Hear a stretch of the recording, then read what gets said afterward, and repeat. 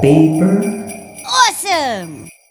Kamusta mga ka-paper awesome? Ngayon, gagawa tayo ng mountain na gawa sa papel gaya nito. Tara, simulan natin.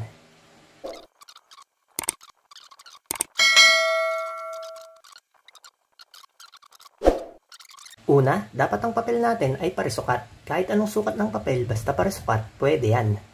Rotate natin ang papel. Itong dulo na to, ipapantay lang natin doon sa dulo sa itaas. Tupiin natin. Then, ito ipapantay natin dun sa dulo sa taas. Tupiin natin. Ganun din itong isa. Dun din natin ipapantay.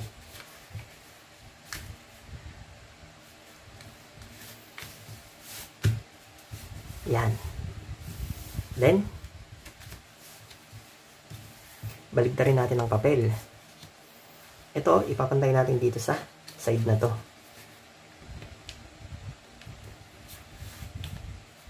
Balik natin ang papel. Ngayon, meron na siyang guhit dito. Ito, ipapantay din natin dito sa may side na yan, sa may guhit. Balik natin ang papel. Kung ano yung ginawa natin dito sa side na to, ganun din gagawin natin dito.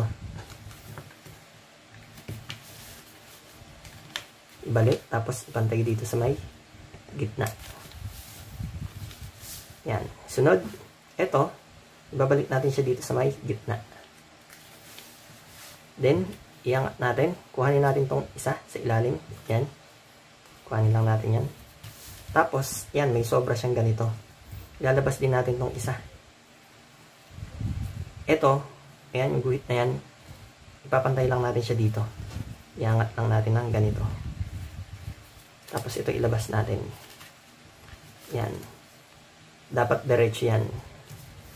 Then, babalik rin natin yung papel. Rotate natin. Ito, tulak lang natin to pataas. Yan. Rotate lang natin siya ng ganito. Sakto natin siya dito sa may kanto. Ganon din itong kabila.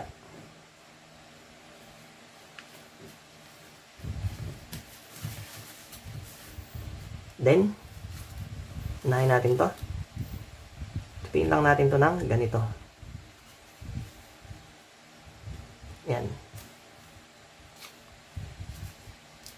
Tapos ito itulak natin. Ito, tutulak natin ito pababa. Pagkabukas, tutulak natin ito pababa. Kung ano ginawa natin dito, ganun din dito sa kabilang side. Tupi lang tayo dito. Ganito. Yan. Tapos, ito. Bubukas to tapos tulak natin ito pababa.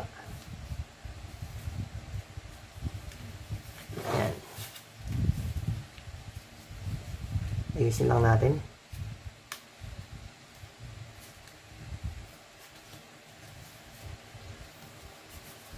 Then, baliktarin natin ang papel. Yan na, tapos na ang ating mountain na gawa sa papel. Ang galing, di ba? Kaya hanggang dito na lamang po. Hanggang sa muli. Paalam!